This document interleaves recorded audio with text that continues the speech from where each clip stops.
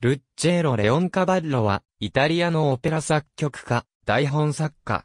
ナポリ音楽院で学ぶ。数年間の教育活動の後、自作のオペラ上演の機会を得ようと努力したが、果たせなかった。オペラ、道化師が1892年にミラノで上演されると、たちまち成功を収めた。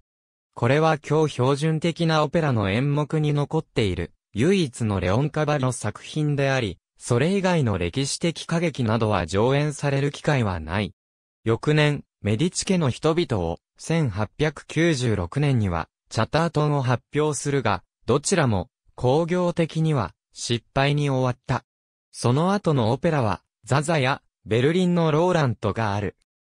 文才に恵まれ、また、同時代のフランス文学に通行していたレオン・カバロは、台本作家としても、そこそこの成功を収めた。レオン・カバッロは、初期のオペラでは自ら台本を書いており、また他の作曲家のオペラの台本も書いている。プッチーニの出世作、マノン・レスコーの脚本にも協力した。ありがとうございます。